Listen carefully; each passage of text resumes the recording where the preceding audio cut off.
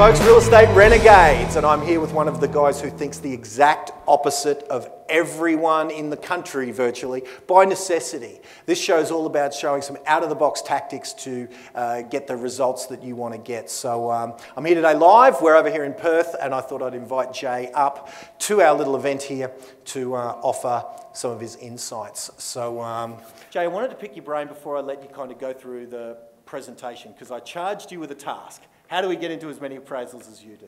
But before we do, the first thing I wanted to have a chat to you about, because a lot of my guys don't believe, or they don't believe, but I'm sure they have missed the nuances of that challenge we did, like maybe, I don't know, maybe seven years ago or something. I can't remember how long ago it was.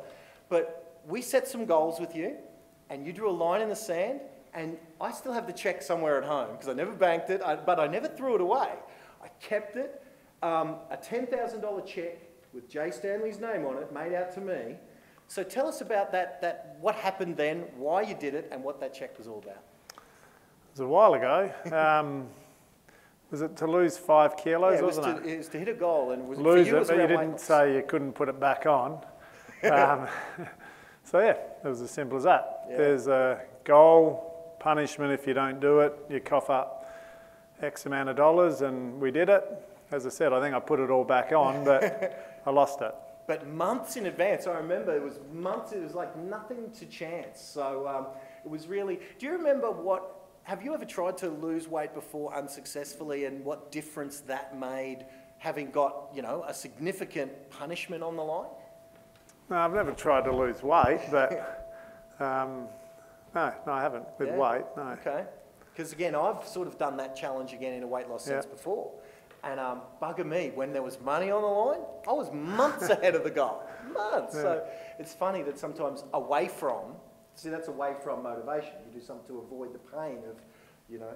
There's, I'll, I'll show you later. I, I, there's, we've got that challenge with one of my guys at the moment, and it's around getting into more appraisals. And there's a, we've already had the graphic design done. We've already got the payment sitting there with the car wrap people, and his car is going to be wrapped with, do not sell with me, sell with, and he's got the competitor's name up there because they're better than me or something. So there's zero chance he's going to not make his happy eyes, you know. So, um, yeah, man, I really wanted to. So, so before we get on to your presentation, mate, give us a sense of what I was sort of trying to articulate to the guys about the state of your market for the last, you know, decade. Well, uh, it's a bloodbath, really, Bunbury. Um, is anyone in regional areas here outside of Perth? Yep. Andra? Yep. So it's probably just, I mean, I'm sure there's worse areas when you go up north to the, to the mining towns, but Bunbury's been really hard work. Um, we're now selling properties, people paid, you know, 300 for them. Uh, X number of years ago, and they're now dropped 100 grand in a small, you know, in a small price bracket. Um, we've now, my brother just sold one for 23,000, a one bedroom, one bathroom, and Bunbury's just a really blue collar town, you know, there's, uh, so it's, it's brutal. So it's one thing, you know, to get a listing, you know how tough it is to get a listing, and then you've then got to sell it, and you might have something, um, uh, you know, they paid 300,000 for it, a unit site in Carey Park. It's now on at 180 and you're getting no inquiries, no phone calls, no one through the opens.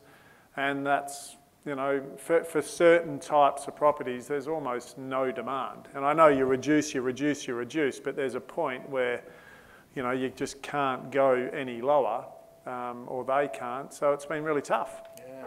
And um, would you say, because um, we, we've talked about, about that, you know, whenever, as I said, whenever I'm sort of thinking it's tough, you tell me how tough it really isn't. So talk to us about the principle, because I was talking to Matt Steinway and you were on the hmm. call, and it's funny that Matt said this thing that he said about stock levels. And I said, well, to your point, Matt, another icon of the industry, Jay Standley over in Bunbury, and bugger me, he was on. Must be the first, I don't know if you've tuned into many of our lives, but Yeah, he was on. And I'm like, wow, that's pretty cool. Speak of the devil. Jay was on the call, uh, you know, listening in. So talk to us about that principle, about how Matt was saying, well, whatever the stock levels have to be in order to facilitate the goals he wants Yeah. or you want. Talk to us about that principle. Well, last year I listed 196 properties in the financial year. That's individual sales, no subdivisions, it's one by one. And the analogy I share is the mining industry. You look at those guys, what do they do when things become really tight?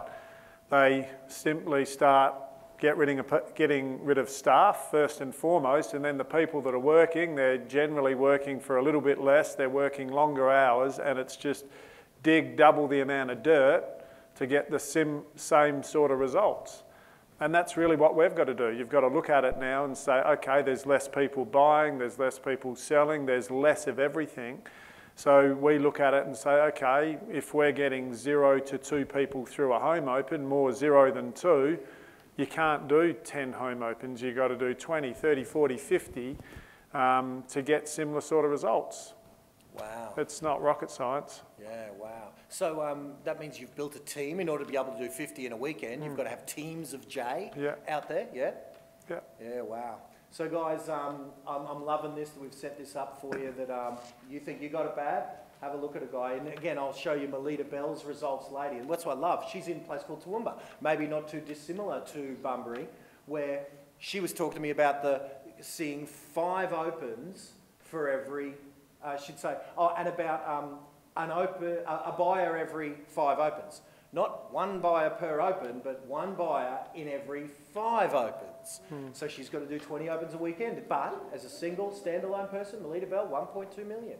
So there are ways to make it work still, and you're in the hands of someone now who has um, absolutely done it. So, um, mate, let's get off this stupid stage, man. And uh, there's your clicker. Ta. Slides are ready to rock. And um, all right, yeah, mate, I'll. Uh, I'll leave it to it. So, guys, so, um, give it up for our guest, Jay Standley, and thank you for your time. No problem. So, right. make sure that's working. Right, it is perfect. Beauty. I don't know if these are on timer or. I think they are. All right, so just a little bit about me.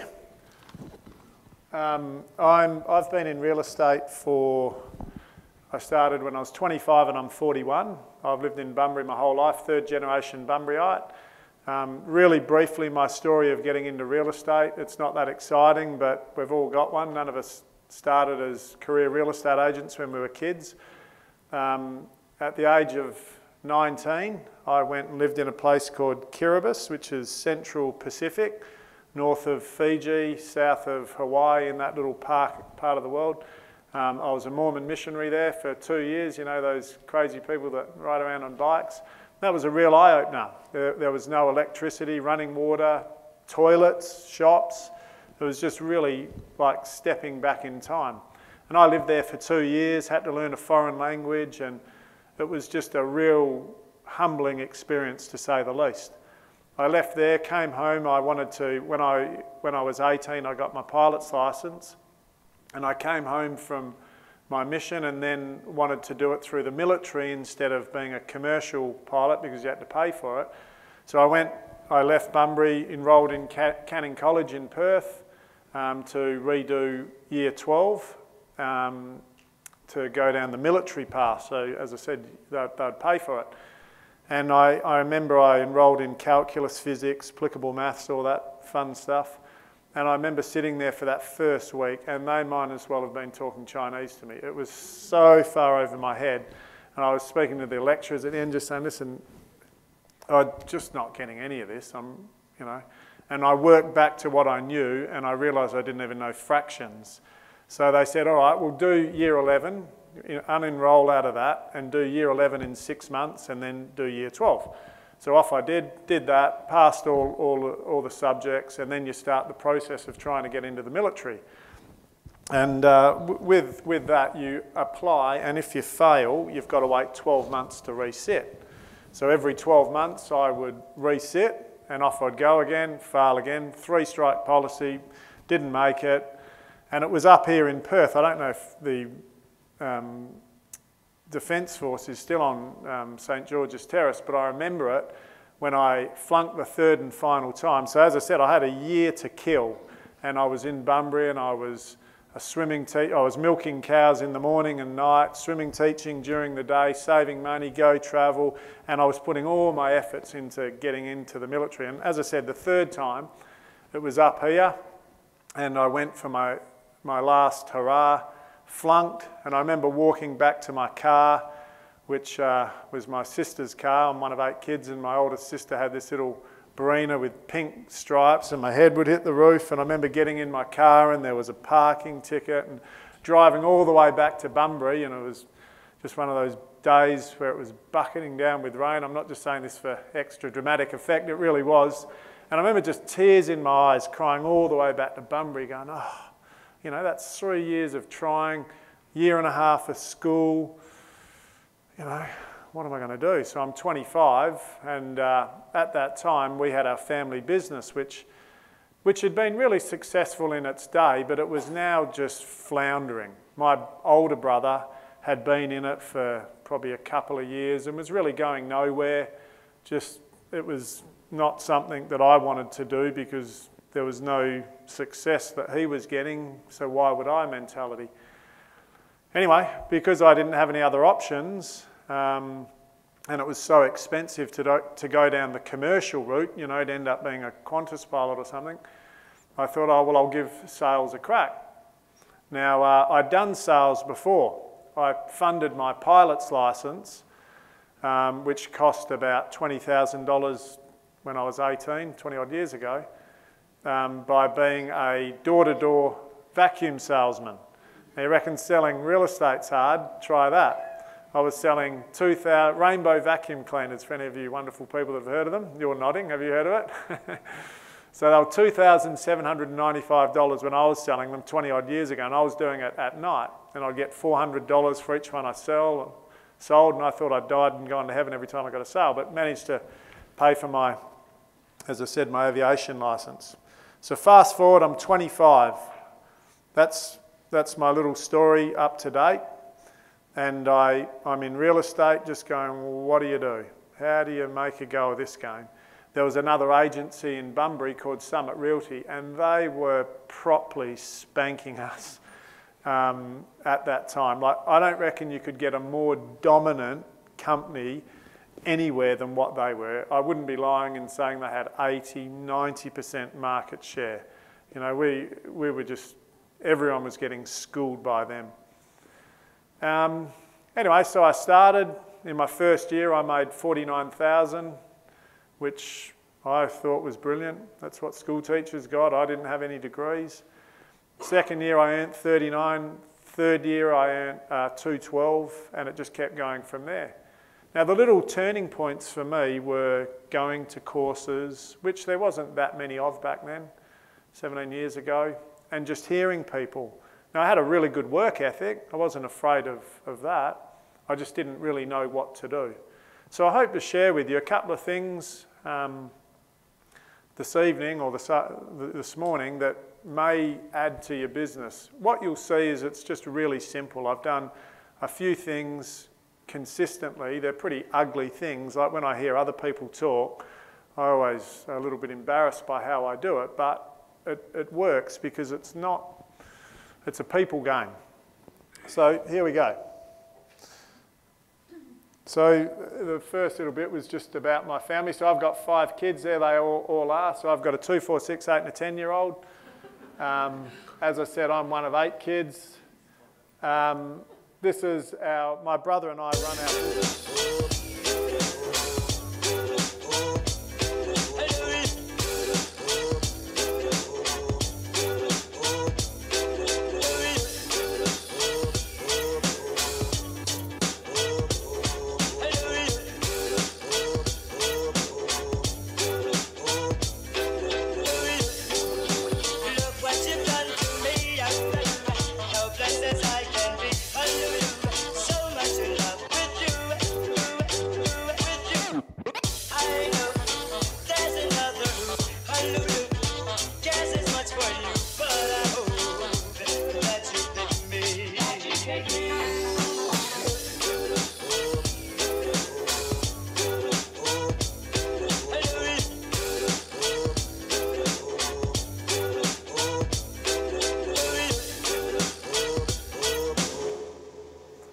Yeah, so my old man started the, the uh, Bar and Standley with his business partner Jim Bar.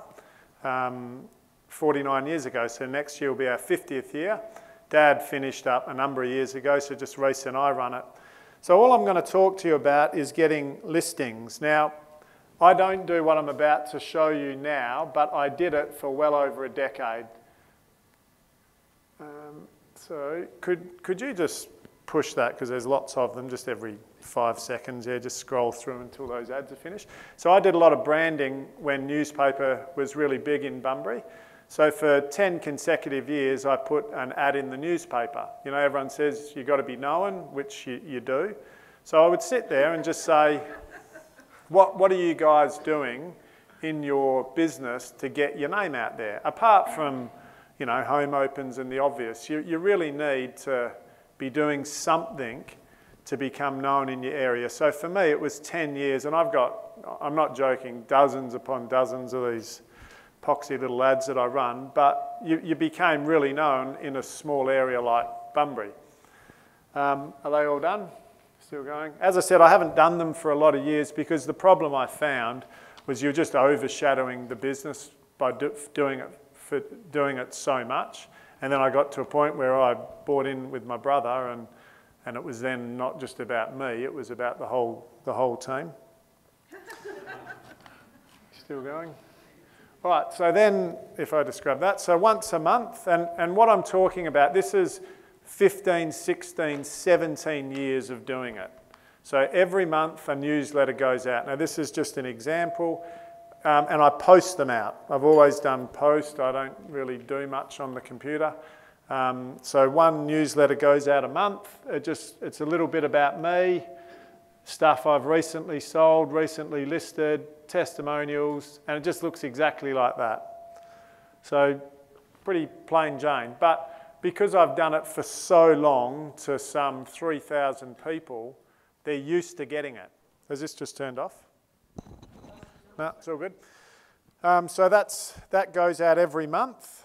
Um, then every year I send out my market analysis, which looks something like this. So this is all bound up, glossy, looks the part. It's got a bit about real estate, um, the statistics of your area, exactly what's sold, how much it's sold for, highest sale price, lowest sale price, an ad. And then I have, as I said, I'm one of eight kids, and um, this is the bit that most people always comment to me on every time it goes out, and it just makes fun of my family members. Um, it's just all light-hearted stuff if you read the comments there. Uh, and that's, that's that. Here's my team. Okay. Any questions in regards to any of that? Pretty simple. The next thing I do is um, the family fun days. Now we do this as an office and these have got bigger than Ben Hur. I never in a million years would have thought that they would have ended up like this. So this just gives you an example. We've got our next one in November. We were doing them twice a year, but I'm not, I cannot believe so many people come out for a free ice cream. It amazes me. But they apparently do. Well, we pay for it, and it's about 16,000 now because it's got like to a little, well, th this is the ad on it.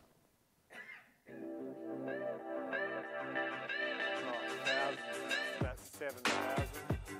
So many people go.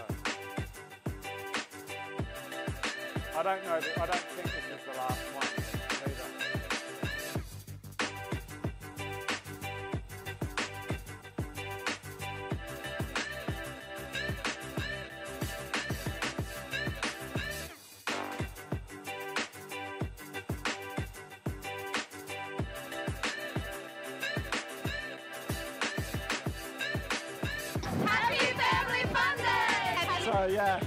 Much, Bunbury. I'll, I'll, now cover some of the tin tack. So that's the broad overview of what I do. So you're sending out a monthly newsletter to your database. People are getting invites to stuff. You know, we do movie nights and that type of stuff. Um, they know about me. So now, at, at the stage 17 years in, what I've found now, it's not that hard for me anymore because you get traction. All I've got to do now is keep working hard and really not stuff it up. You know, you're getting lots of opportunities. I find I get at least two appraisal calls every day, um, and then I'm generating a lot. So I'll go through because you're all sitting there saying, yeah, well, that would be good. I'd love two, at least two appraisal calls a day. That would be really easy. But how do you get to that point?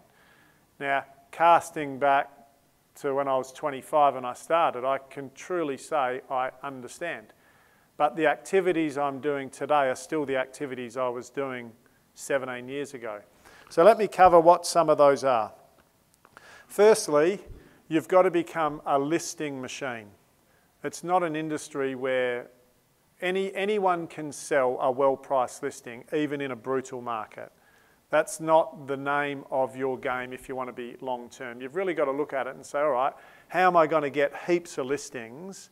And then you've got your listings, you simply manage them, reduce the price if required, sell them, your team member then settles them, you know, so you get a, you get a team around you. So you should have aspirations to working towards a team setup. So for me now, I have um, a lady that does the new listing. So a new listing comes in, she deals with all that. I then have Josh, who's my buyer's rep, and he sells all the properties. I then, once I've sold the properties, I then have Henri as my contracts coordinator and she settles them. And they all do really good jobs. And we all work in as a team and I explain when I'm meeting with the seller, this is how it's going to work. So Josh is going to be the gentleman that brings all the buyers through. So you won't be hearing from me bringing that buyer through. I'll be helping with all the negotiations. And you explain the reasons to them why. And they're like, okay, I get it. So there's no problems if you thoroughly explain a team setup. Now we get a bit precious with ourselves. You know, you think about what other industry does the person do everything. Pilot doesn't come down and give you a rug and serve you peanuts. He's up the front flying the plane and the hosties have got their roles and so it is with us. So I, I did a bad job in early years of probably explaining that. I just tried to do it all, but I wasn't really doing it. And there was a bit of a mixed message go out, where now I really sell the team as a setup. So if you haven't got a team, it's pretty hard. You know, it's pretty hard to be doing it all. So you should really be shooting to get a, a first assistant on whatever basis. For me, my first assistant was my wife. Um, and she was doing half a day with me and then half a day on the property management because I didn't think I'd be able to afford both. And then quickly, you know, I saw the benefits and she went full time and then we've just grown from there. And as, as, as your income has grown, you can see that putting on a PA, buyer's rep, PA, and then with my brother-in-law. Um, so on that flyer on the back of that thing, you would have seen four people. I don't have my brother-in-law working with me anymore, but he came in as a lead generation um, role, and it was working, but it didn't end up working. So I'm back to just three, which I've had for uh, over 10 years. All right, so that's my team set up.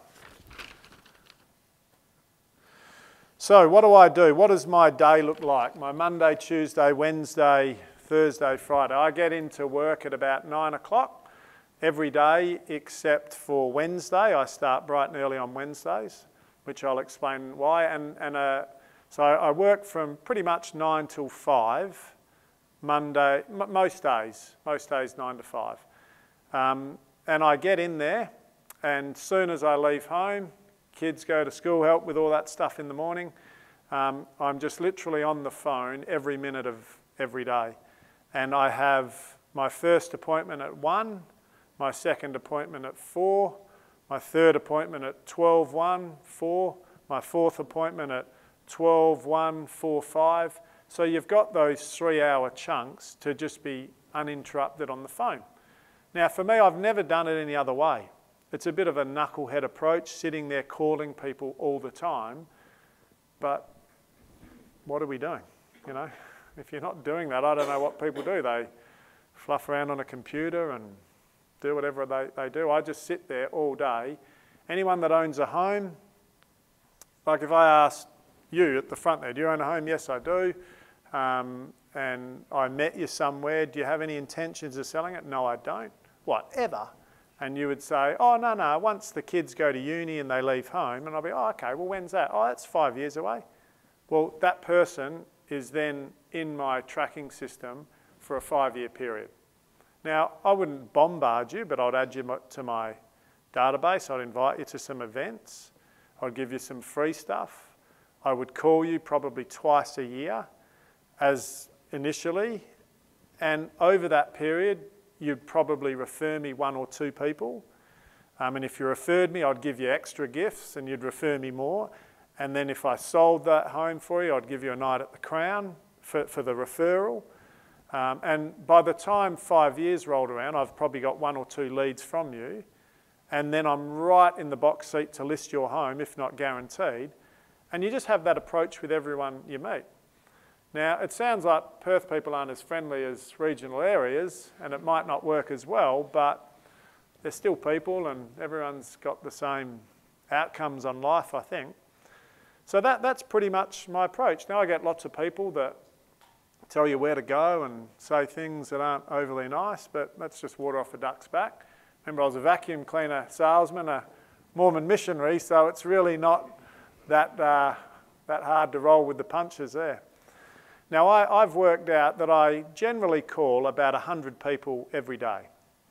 And on that video that Glenn was talking about, I heard, I sort of snickered to myself when Matt said, oh, you know, he mentioned that. You know, I've heard of people calling 100 people a day, and I get it. It's got knobs on it, but I've done it for so long that I just, I don't know what else to do. It's just become a habit and proved so effective for me, and I'm just getting listings and listings, and it's just my way of doing it. Any questions in regards to that really complicated? yeah. You're amazing. So, of your 197 that you listed, yeah. how many of those actually sold? Low 100s.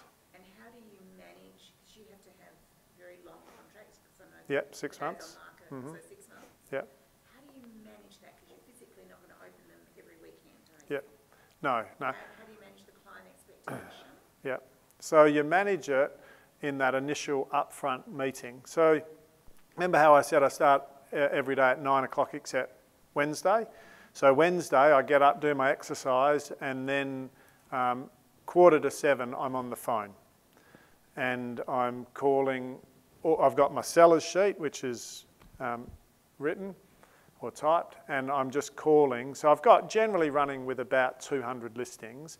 Now they're not all active, you know, so I've got what I call B listings. So you say, oh Jay, don't worry about it, we're just having no luck, just pull it off the market. And I'll say, all right, well is it okay if I, I'll pull the sign down, no home opens, none of that stuff, but it's all right if I just keep it in mind? And I'll just keep it on the net. And I generally find you sell one of those sort of just flukes. you sell one a month, you just get lucky. So they've still got a place and you still get buyer inquiry, which is subject to sale leads, or you can swing them. So I still like having them. So they're not all active.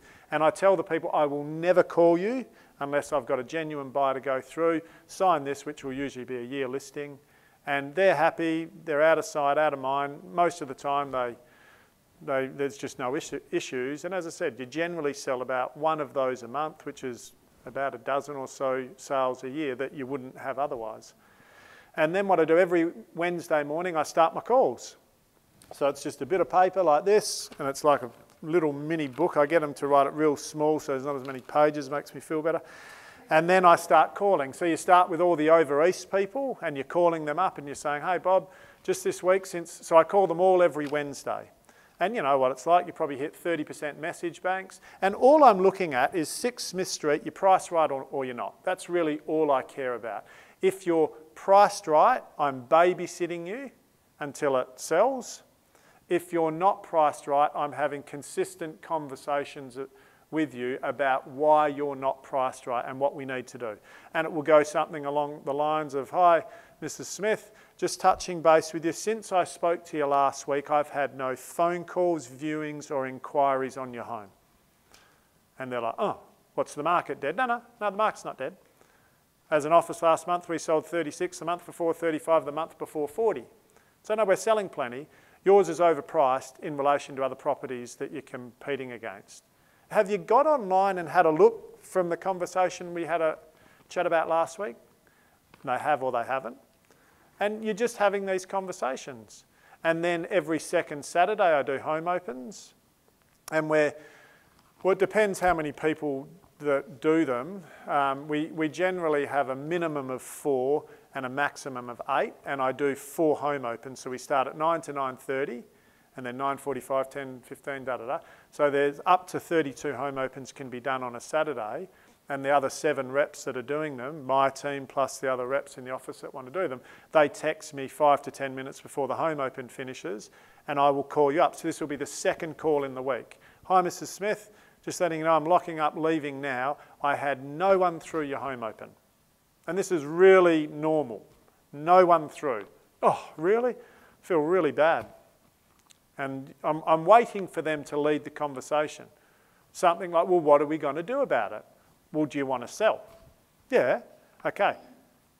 You, you really need to address. The moment you price your property right, it will sell, and I can continue to sit here and babysit, uh, babysit you and blame the, the, the weather, the football scores, who's playing this, that, and the other. Or you can choose to be realistic about your price and it will sell. Now, they might then say, Well, Joe, you told me that. Now, I, I'm very careful with how I phrase it now because if you go into a home, they paid 300 for it and it's going to sell at 180 and you tell them 220, okay, they get their head around it at that initial thing and it's like, oh, and then you've listed it at 220 and you've been on the market for two months and had no one through and then you're reducing it to 210 and then a month later 200, 190, 180. What do you reckon they think by your fourth price reduction? They hate you with a passion, don't they? You're just an idiot that doesn't know. You fib to get a listing. You're just a typical real estate agent. so I've become very proficient at breaking your heart right up front in a way that I'm not going to lose the listing. You know, and for some people, you know, some people you can tell them straight and they love it. Most are okay, you can still tell them, but it's delicate. And then you've got those percentage of people, thank you, those percentage of people that you've just, you, if, you, if you tell them the truth, you're not going to get the listing, are you? So you've then got to give them a little bit of range, you know. So it'll be somewhere between 290 to 180, you know. You've got to give this broad range, and then I'll leave their home and sort of follow it up with an email. As discussed, your property will sell within the parameters of 180 to 290. I'm being a bit, a bit extreme in saying that, but you get my drift. So you've just got to manage the people that you're with, and then you've got expectations set up up front. And now, at what point do you start reducing in this market? First week? So I'll, I will have the listing signed under my arm. Now, guys, just something I forgot to tell you and they'll be like, oh, what's that? And say, listen, I just forgot to say, so what's going to happen the moment I'm going to know whether your property's priced right? Do you know how long it's going to take me to know whether your property's priced right? No. What, like a month? Two months? No. Um, within 24 hours. And they're like, what do you mean? And I'm, I'm saying, so when your property goes live, within 24 hours, if I've had no phone calls, viewings, emails, text messages, anything on your property, it's overpriced. What do you mean? Well, you think about it. How's everyone going to find about, out about your home? On the internet. Everyone that's looking to buy a home is probably signed up to realestate.com or domain alerts, aren't they? Would there be anyone that's not? No. So the moment we push enter, upload it, those people within seconds will get a on your phone now, all they're going to do is look at 6 Smith Street and the price, and then from there they'll think, okay, it's priced right or it's not. If it's not priced right, do you know what they do? Save it. Because they're sitting there going, okay, this one's unrealistic. So every time you see a save, that means one person is vocalizing you're unrealistic. And they're saving it, waiting for the third, fourth, or fifth price reduction until this person's met the market. So if I've had no interest within 24 hours, we have a problem. And I build that up from listing to marketing to getting it on the market, the, um, the lady that does Erin that does my listings, she's letting them know, hey, it's you know, and, and so that first day I'm getting the phone calls, the text messages. You know, it's like when your finance is due, they're calling you, has it come in? Has it come in? It's that same thing. And I'm like, oh, bugger. All right, we didn't, and they're usually calling me. I, I, I say to them, I will call you if I've had any interest because I'm as anxious as you are to see how it's gone. Now, they can't get through the whole day. They'll get a text, a messenger, something. How do we go? And I'll say, now, if it's priced right, I won't, you know, lead them to the gallows. I will let them know, hey, just be patient, okay? It didn't happen as quick as we want. But you, see, so a price reduction within 24 hours may be required. And at that point, I say, well, what's going to be our plan B if we don't get any interest? And they're sitting there going, oh, well, what, what are we going to do? Are we going to pull your furniture out and put new furniture? Are we going to paint the... What do you think plan B would be as a real estate agent? It's a really good question to ask your agent. You put it on, here's the strategy. Now in Bunbury, I would say 70% of people are on their third, fourth or fifth price reduction before they sell. So I'm letting them know that. I'm saying here's all the case studies. So you could price your property. Um, I was saying if there was a whiteboard. You could price your property. That's all right. Sorry, and most people start here and then they go to there, and then they go to there, and you're starting this process of dropping the price every month for five or six months. Now you think about the third, fourth, or fifth price reduction from a seller. What's the mindset? They're so sick of this process a, a, buyer, what do you think the mindset of a buyer is? We'll just continue to wait. It keep, keeps on going down. And the market this year in Bunbury, January through to April, has fallen at a rate that has just blown my hair back. It has been unbelievable. I rolled around to the start of this year thinking, oh, this will be the year. I've been saying it every year for the last 12 years. This is the year that things are going to pick up.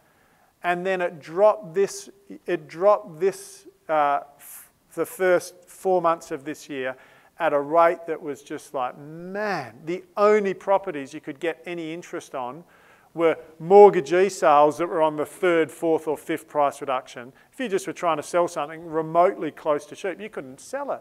There was no demand. Why would you want to buy a house in Bunbury? All they do is drop. They're no longer an asset, they're a liability. So you, you just had to be really, really transparent with a seller. And then I would be saying, okay, plan B for us is let's look at the next price point. And you just talk pricing with them. What's the best way to get a phone to ring? Marketing and price. That's it. There's the price, it's realistic, and you've got it out there through marketing. So if the phones aren't ringing, if we had the price on at half the price, would it ring? Yeah. Okay, so you've got to find that sweet spot. Now, you as a seller, you're all the same. You want too much.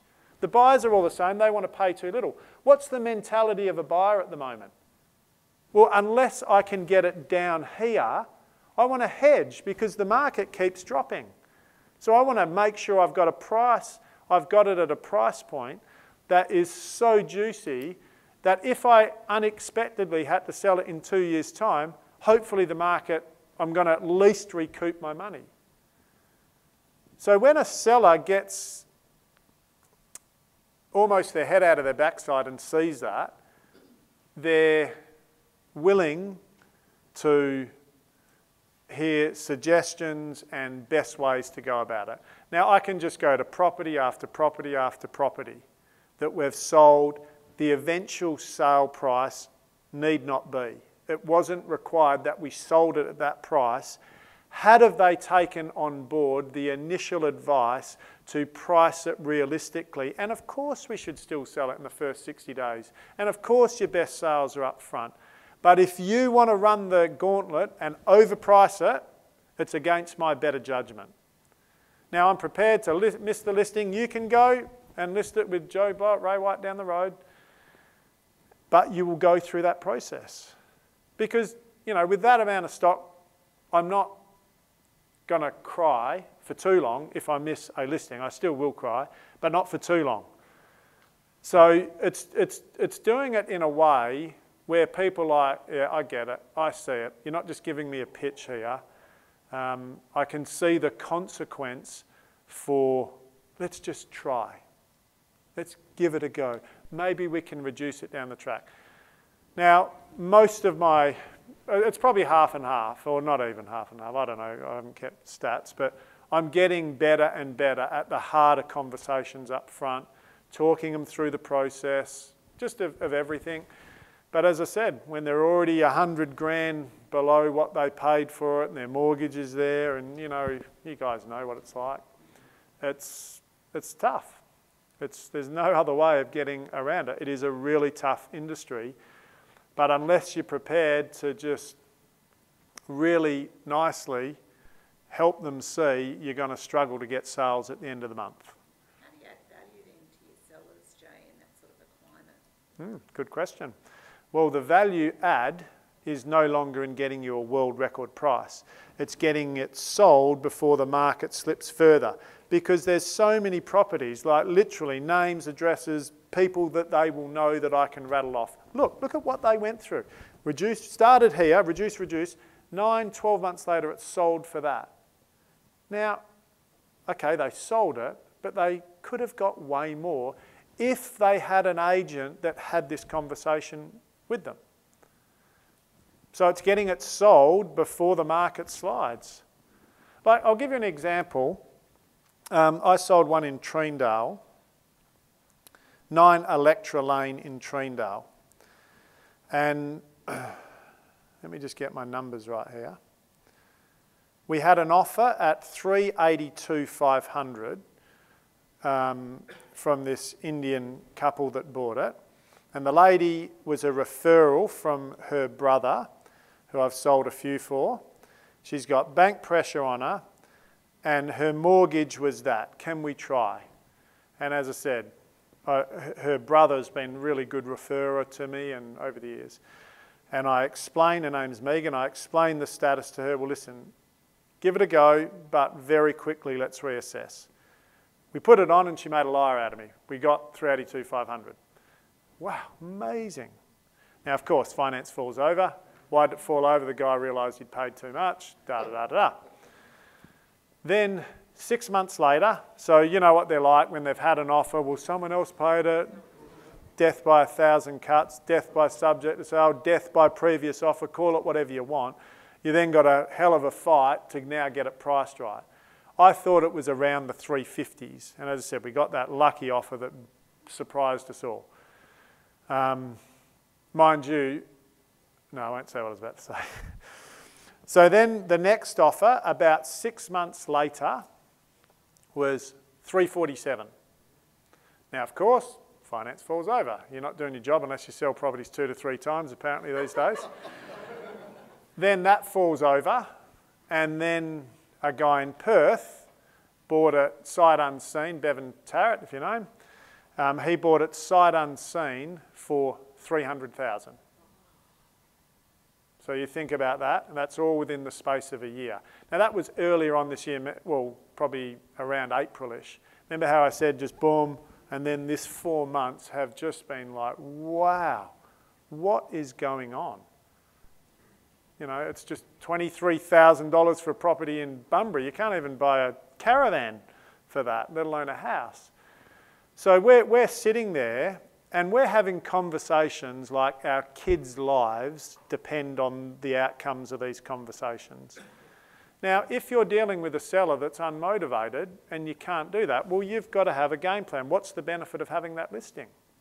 Well, some of them, there's a big benefit because you might be tapping into an area, you can feed off it, subject to sale, inquiry. There may be a benefit. But if there's not, unfortunately, they're no good to us.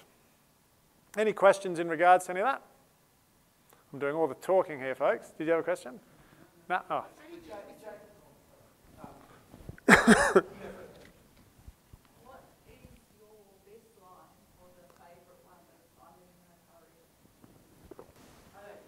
Yeah, well, why, why are you selling? Why would you choose to sell in this market if you're in no hurry? Oh, we're going caravanning. Okay, so now you've got to create urgency. We're going caravanning take the keys, and they're genuinely in no hurry. If you can jag a buyer, go for it. And you say to them, all right, can I, would you listen to some advice? And they say, I was hoping you'd say yes, but most people do. Um, and they say, yep, we'd, we'd, we'd take on some advice. All right, you want to get as much as you can for it. Yeah? So getting top dollar is what it's about. Well, let's look through what it's realistically worth. Now, does anyone find, even with like the most Italian of Italian buyers, you know, the ones I mean, you're sitting there and you're showing them the properties online, here's the photos, there's the price. Like, you really got to be pretty far removed from reality not to be able to get it, don't you? So here's what's sold, here's my iPad, bing, bing, bing. And the wife sort of, you know, saying her comments and then you're like, well, let's have a look at what's sold. That was pretty bad, but let's actually have a look at what's sold. Bing, bing, whoa. And all of a sudden, they're like, okay, they've been body slammed into reality. So what was it you wanted me to get? Again, we're looking at properties that are selling for 300. What were you saying? 400. Okay. When were you planning on moving from here? What? So you would only sell if you could get 400. Is that what you're telling me? Yeah. All right. Based on what you've seen, remembering pricing's got nothing to do with me. You're just a byproduct of the market. How long do you think it's going to take to get your 400,000? this 100,000 above market value. Oh, well, in, everyone, in Bunbury, everyone's talking about the lithium plant. So damn annoying. Lithium plant, like, how has that affected house prices? Um, and, I, and then you talk them through, and you've just got to be their financial planner, financial planner for five minutes. So you sell it. So let's just hypothetically say I did sell it for 400,000. Do you know the only way that contract will go through? Yeah. Valuers are going to come in and squash the deal, so it's not possibility. So what I need pretty much is a tourist that comes off a boat that's blind that's got cash to get your home sold. When, when you really break it down, don't you? And they're like, yeah. So it's not going to happen. You, you, you know, it's, it's totally unrealistic that it's going to happen. But let's look if you sit on this for the next two to three years, I'll tell you where this will end up. You don't know, you've got no pressure, money in the bank, you're cruisy. I'll tell you what you're going to do because I know lots of people that have been in your situation. They give it to an agent, and, the, and a year will go by. You'll come and have your holiday, and then you'll, you'll talk about it while you're travelling around Australia, and you'll say, all right, well, when we get home, we'll get serious about it. It's already been on the market for a year.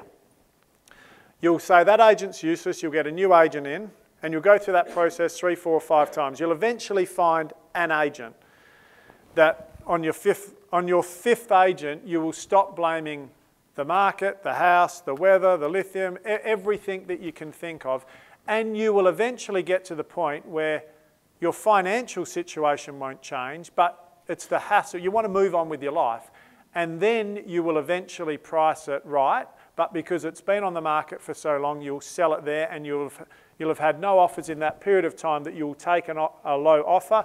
You'll hate the agents, you'll hate the market, you'll hate the price, it'll be a disappointment. It's much easier to be realistic. Now, if you sit and wait for 10 years, which of course you can do, and you eventually get that price, well, how's your financial position any better anyway? Everything's gone up, you're paying more. So sell or sit but don't fluff around in the middle. Now, when you sit there and have just really honest conversations with people, and you can dig at them a bit, like, come on, you know, it's like saying your Holden Commodore here that you bought for 20 grand is worth 30. It's not. Cars go down. And in certain cycles within a market, so do houses. For 12 years now, 07, we've been on a declining market. I've sold one house four times to four investors Every time they've lost money on it, every time it was a good buy. I'm the only person to have made any money at it, and I never owned it. so, why would you invest in Bunbury? You just wouldn't, would you? You wouldn't. So, the people that I'm dealing with are simply people that want to live in a house. They, everyone needs a house Fortunately, we're not selling luxury boats or cars. You need a house, so there's always going to be a market. But that buyer is typically looking at between 14 and 20 properties before they purchase one. So, like, hello, what are they going to buy? The biggest, best, flashiest, newest, well priced property. And if that's not you, you won't sell. And then you've got to sell quick because the market is falling and has been falling, hasn't it? And they're like, yeah, it has. So, what do you want to do? So every, every listing presentation that I do, I used to have this U-Butte listing presentation and you'd cover everything, you know. Now it's probably 90% on this. Got all these little diagrams that are written on scrap bits of paper and I go through it and I explain to them the consequence for not selling. This is the consequence for not selling in Bunbury. And they already know it, unless they've got their head under a rock. Um, have you ever not received your commission? Yeah. One Ennis Street. The guy's he's got the cafe near the Subiaco Oval. I'm gonna kill him. Go and have a wine and don't pay him. Yeah. It was 20 grand as well. One Ennis Street. Oh, no, because apparently, I didn't realise this, you can tell your settlement agent, don't pay him the commission, I'll pay it. I, always, I didn't know that, but I do now. So, you know, he's moved to Perth and he owes lots of people lots of money, and I'm one of them. And That's why you want a big fat yeah, well, How do you stay positive, Jay, in that sort of climate? uh, results. As long as I'm getting my sales at the end of the month, I'm nice to people. yeah, so like people say, how do you stay motivated? Well, if you're getting results, it's sort of like going to the gym, you know, if you're exercising hard and eating well and you're losing a little bit of weight here and there, you're motivated to go, aren't you? It's no different with sales or anything in your life. You know, you love being married when your marriage is becoming better. Um, and it's the same in real estate. But unfortunately for real estate, it is so brutally, unfairly hard at the moment. And I just think, you know, I, I know our number two competitor. We, we've been the, so Mandurah, who, who is Mandurah? So I think you guys pipped us this year. So I think you came fourth, which is really, sorry to everyone else in the room, which is really the highest, which is really the number one office in WA because the others above your sell lease property and rada rada, they're multiple offices, but individual offices, and we were the highest individual office in Bunbury last year and second to you guys this year. And we're in regional Bunbury, blue collar Bunbury. Drive through it, see what, what it's like. It's a, I mean, I'm not ripping on Bunbury, but like, have a look at this. Our last TV ad. Pardon? Well, the, the- you know, Bunbury's so exciting. We did a TV ad on getting a new playground.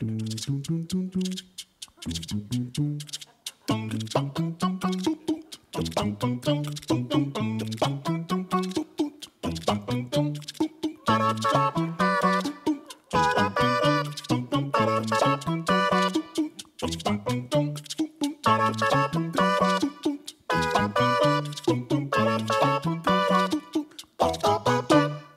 gives you like what we've got to promote in Bunbury.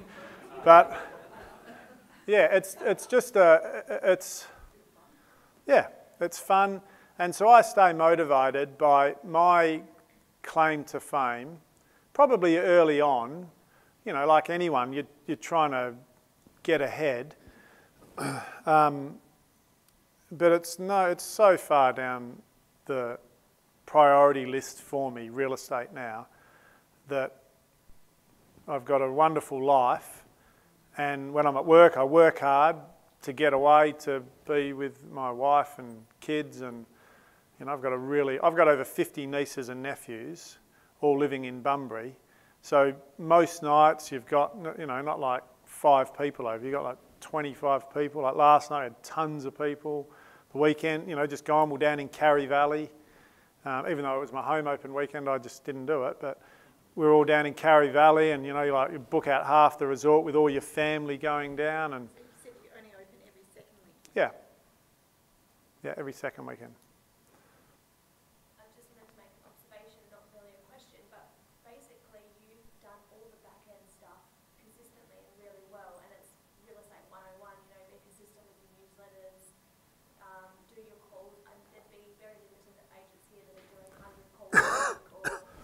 A day, yeah.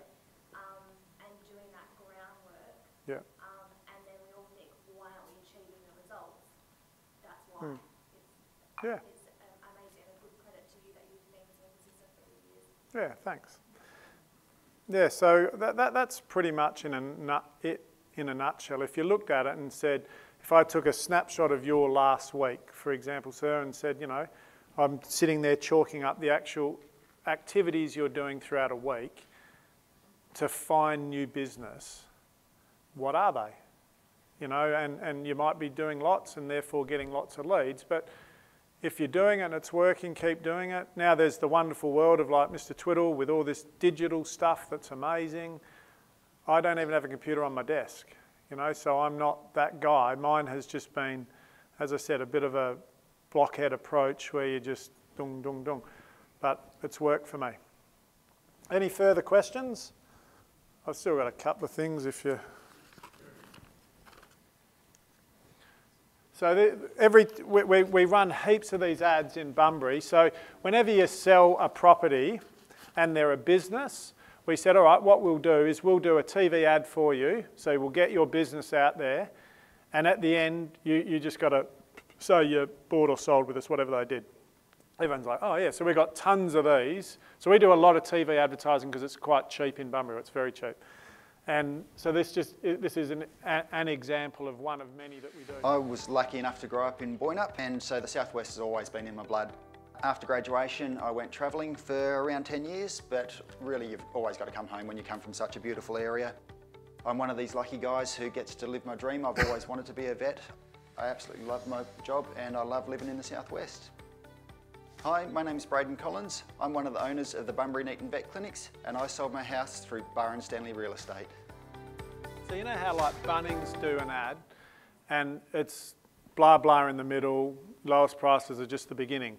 That's, we copied that for a real estate thing where you've got an ad and everyone watches, oh, what the hell is this about? Everyone knows that guy. So rather than just saying, hey, we're really good, everyone knows that guy or lots of people would know him and then at the end, oh, it's a Barr and Standley ad. So we've had really good mileage from that. Um, the other thing that I do, so you sell a property, I never deal with buyers. And then you're like, well, how do you, how do you have a relationship with them? So this is how I deal with um, ongoing buyers whom I've never met. And like you invite them to the family fun day, it's the worst day of my life, the family fun day, because I'm sitting there like trying, to, who the hell is that person?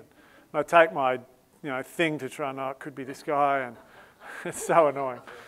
Anyway, so, so if I sold your property, it, it looks like this. We sell it, Henri looks after you from, you know, so Josh gets the offer, gives it to me, I call the seller and I say to the seller, hey, Mr. Seller, we've got an offer, um, would you like to do it over the phone or would you like to catch up in person? And if they say they want to catch up in person, I just say, um, okay, well, I can't do it. I've got appointments, so I won't get there till probably about 8.30 tonight. And if they say that's okay, then I say, oh, actually, sorry, no, I won't be able to get there till the following night. So in other words, I don't want to see you. Um, and then I will email the offer through. So I'll negotiate it, get it all together, email the offer through, signed, sealed by both parties. Josh deals with the buyer, deals together. Then it goes to Henri, and both buyer and seller are reminded and explained about Henri, how wonderful she is. She's a mother of three, ex real estate agent, absolutely, you know, those amazing people. She's one of them. So Henri is going to look after you from now through to settlement, and her job is to make sure this is a really seamless exercise. And she goes so far above and beyond. She actually works from home a few days now. That's how much I trust her. And, um, and she does it all. She meets with them and she's become friends with these people. One of the ladies has joined her church to give you an idea of how, um, you know, amazing she is. It settles. I then get a text message saying 6 Smith Street settled, buyer and seller's number. And I explain to the seller, and Josh says to the buyer, listen, if you called me up throughout that settlement process and said, oh, what's happening with this, I will walk down and speak to Henri and she will tell me. So we aren't hands on. So you really give her ownership of it. It's so annoying getting calls in the settlement process. And then, then the property settles, text message comes through. I call the buyer and the seller up and I say, thank, and, I, and I sincerely mean this, I'm not just saying that, thank you so much for letting us help. I really appreciate it. You've been wonderful to deal with, and da da da da da. And I have a sincere chat where I express my gratitude and I let them know how thankful I am. And I know they could have picked any other agent, but I am tickled pink. Thank you. Bye.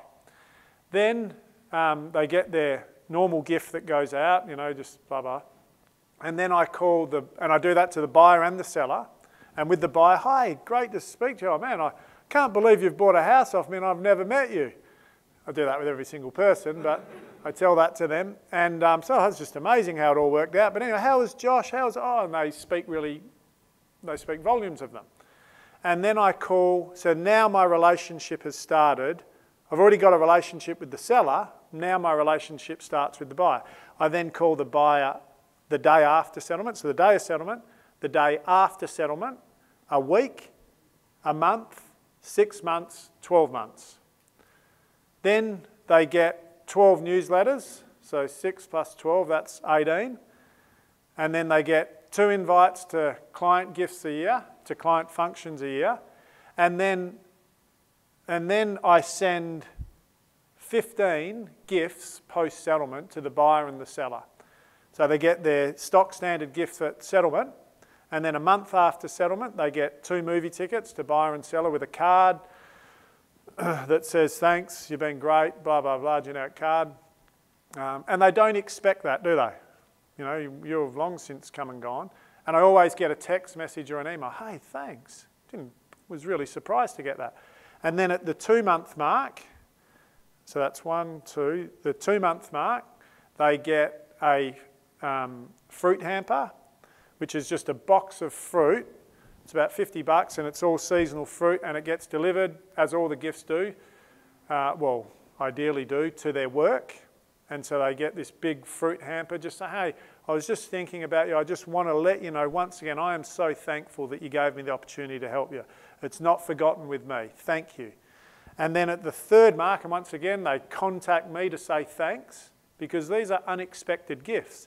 And then at the third month, Henri contacts the buyer and the seller because she has contact with them and says, Hey, Jay's just come into my office and said he really wants to do something for you. He wants to send you a magazine subscription. I'm going to send you an email now. Whatever your interests are, boom, boom, boom. And so they pick out fishing, for example. It goes to their house, and on the little blurb, it's got my name, their address. And so for every month, they're getting a magazine, and it's just another point. So you think 15 gifts, 12 thingies, newsletters, two client invites. There's a lot of contact there in that month. And then every single day, I call 12 people from my database and I just say, hey, it's Jay. Well, I hope I don't even need to say that. Say, hey, Bob, how you going? Um, it's Jay. You know, I hope I don't have to say it's Jay Standley from Barr and Standley Real Estate. It's Jay. Oh, how you going, Jay? And then you have a real brief chat, and I say, listen, the reason I'm calling Bob is I really need your help. My real estate listings are hello. well, um, who do you know that's thinking of buying or selling any real estate? And I've found doing that every day, generally you get one person that will say such and such, such and such. So it's just those little things. And you can see it's so simple. None of this, anyone could do any of this, but it's just nurturing a lot of relationships over a very long period of time. Um, and now it seems to work. All right, well, I've, I've said enough. Any questions? Yep. Yeah, it is. That's why it's a disaster. so we're doing it. The last one, as I said, there was 7,000, but there's no way of knowing. And what we do is we have all, you know, like three Mr. Whippy trucks, um, donuts, petting zoos, and we've got all these little things. And I'm not joking, people were standing in lines for an hour and a half. And I'm like, how bad do you want to pat a sheep? You know? it's, or whatever they were doing. It was just, it was, they've just grown to the point. and, and as I said, we were doing two a year, but the last one we did which was in November, at the end of it, we just felt like we'd been, felt like we'd been hit by a freight train. There was so, I mean, it was orderly, but with that many people there, you just, like, there's security issues and, like, the parking went forever. Like, it was amazing. Like, so many people came to, went to come, but you got to, like, get a taxi to get to the thing. Like, I'm not joking. It was, you had to park so far away. So we were just like, man, where do you go from here? But anyway, we're going to roll the.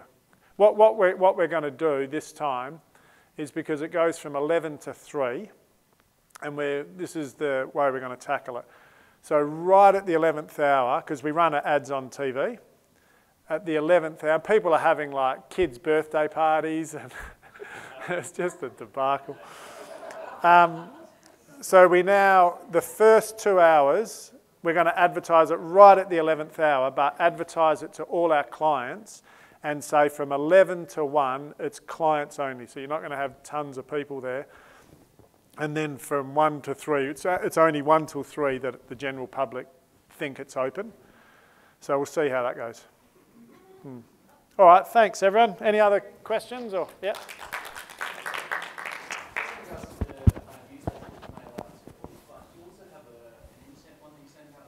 No.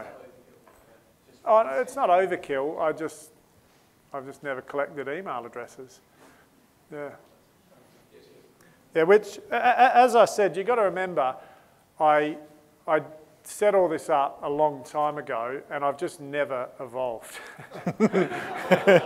so you, you, there'd be a lot better ways of doing it. So you, I, when, when you're hearing this, I would just pick out pieces because you wouldn't, you know, you wouldn't, I mean, you just think of the cost. What is it? It's a dollar a letter now. Um, yeah, so just pick out pieces that you think, yeah, I could do that or whatever.